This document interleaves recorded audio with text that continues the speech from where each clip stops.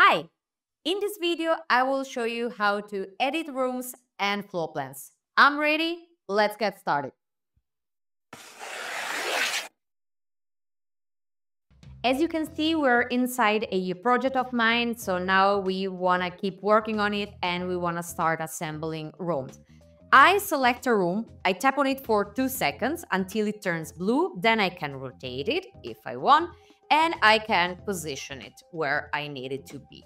If I use these bigger signs, you see this green area, then the uh, room will be assembled using the walls as a reference. But instead, if I use these little dots, then the corners will be used as a reference. I let the uh, room go and it will be automatically positioned.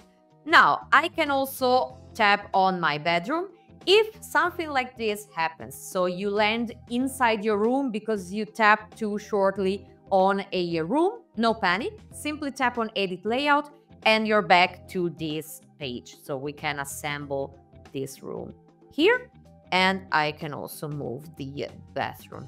In case you assemble a room in the wrong position, you can always tap on the undo arrow and you can move the room around, for example, like this. Okay, now let's enter the bedroom and let's imagine that we want to make this room a bit wider.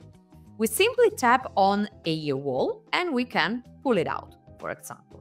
You see that the green dots help us positioning the wall. We let go. Okay. But maybe I just want to make a part of a room wider or smaller. I don't want to pull the entire wall out. I can also do that as an example. Let's take the bedroom again. I can tap here and I can add a corner.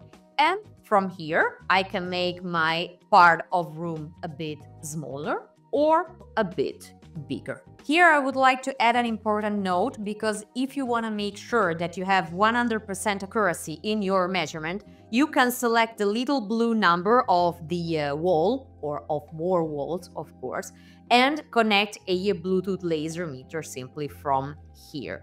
Maybe you do not have a Bluetooth laser meter, but you know the measurement, then you can also type manually. For example, here we can do 3 um, Mm, 80 and we tap on apply. This procedure allows you to lock the measurement. As you can see, a little padlock appears near the number.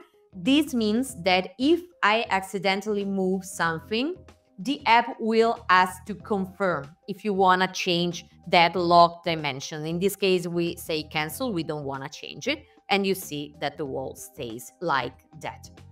Now, let's imagine that I would like to add color to my project. I can do that. I select a room as an example. I tap on the eye for the info section and here we have room color and we can select a blue one, for example, and voila, the primary bedroom changed color. For some reasons, we don't want to have the closet anymore. We simply want to have a wider primary bedroom. What do we need to do? We select a room, we tap like two seconds on it, and on the left side menu, you see the option Merge Rooms. We select that, and we merge it with the closet. Voila! And now we have a bigger room. Pay attention because the closet is now gone, so also in your statistics, the primary bedroom is one room together with the space that you had dedicated to the closet before doing this change. But if you would like to have the statistics calculated separately for some reasons, then let's undo this option and instead of merging the two rooms, you can select here, let's enter the closet. We select the wall that we do not want to have there and we simply tap on delete from the side menu. Now you will see that we have the two rooms that are separate, but there is no wall in between. So if we go in the 3D view, you will see that the two rooms are displayed together. If you want, you can also give a personalized name to your room. So for example, here, the bedroom, we could rename it bedroom Silvia, which is me in this case, and we save it and you will see that it will be displayed too.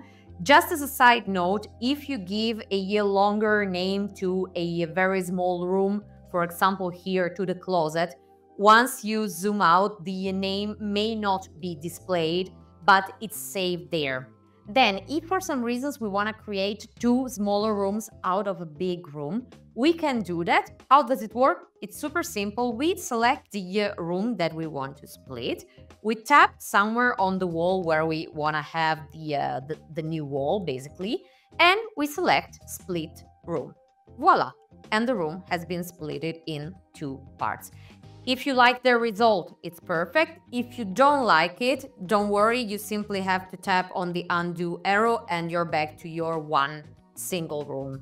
But sometimes I get the question, how does it work if I don't want to have an entire wall splitting my room? I just want to have a part of it. It's absolutely fine. You can do that too. We take the hallway again as an example. We zoom in a bit and we tap here. So let's imagine that we want to add a part of wall in this area. From the left side menu, we select the option Add Wall. Voila! This wall can be resized, right? You see here, you can tap on the little number.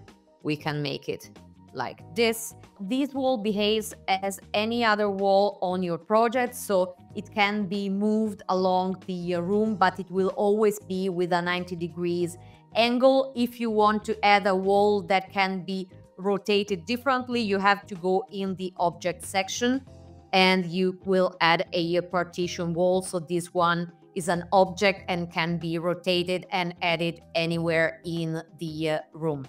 And last but not least, if you already created a big room but you would like to add a smaller room inside it, you can do that. You just have to create some space. So I will tap on the wall here. I add a corner from the menu and I pull in this part of wall.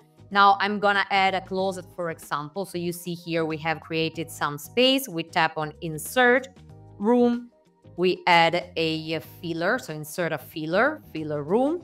I look for the room type I need, closet, and I position this arrow here and voila the room has been added to the bigger room and you can keep editing your project.